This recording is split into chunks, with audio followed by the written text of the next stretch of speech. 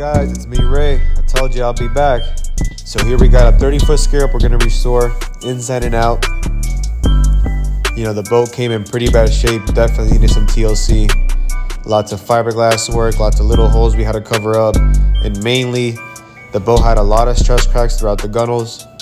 You know, there's only two ways to repair these. If they're not too bad, you can Dremel it out, fill it in with Cavaseal or, you know, whatever you decide you know but in this case we decided to start from zero. We grinded it all down threw some fiberglass over it faired it out and ready for paint.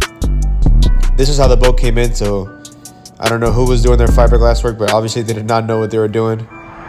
So here we are grinding down everything we're going to cover up fill in. That's the only way. These little holes are small but the only way to not have them crack in the future is you know glass them in and fair it out Here's the boat got sanded down, was ready for 545 epoxy primer. Next step is gonna be your acrylic to cover all your little pinholes, you know, every little thing you can see with your eyes. So the boat was sanded down with 320. Now I'm passing my tack cloth, you know, to catch any little things. Here I am applying coat number one. So on the first coat, you wanna, you know, not go too light, but not too heavy. Second coat is going to be obviously full coverage. You know, I am painting outside, but I promise you guys, if you ever see my boat in person, you can never tell. I'm spraying Awlcraft 2000. So if a bug or anything does get on it, you know, we wet sanded buff it, but this boat just came out flawless. Here's coat number three. So here you want a, a nice wet coat.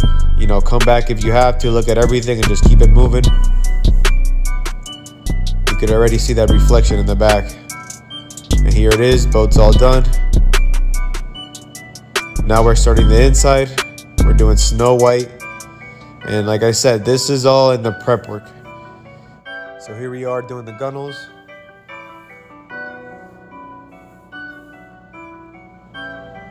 So top cap is done. We're gonna get the boat off the trailer and start doing the bottom haul. Look at that, that's a mirror finish right there. You know, it's not gonna get no better than that. Customer was extremely happy with the outcome of the boat. So here we have boats off the trailer. Team was sending it down. Here I am spraying it. So on the bottom, I did Awlgrip. You know, other people call it G-line. We did four coats. Since, you know, the bottom of the hull is always getting dinged up. You know, rubs on the trailer, so. And there you have it, boat's done. Here's a little detail we did on the bracket, you know, just to give it a nice look. Some non-skid, did three coats of this. I'll show you guys in a minute. Look at that. It's just the little details that matter. So here it is, boat's back on the trailer. Looks sick.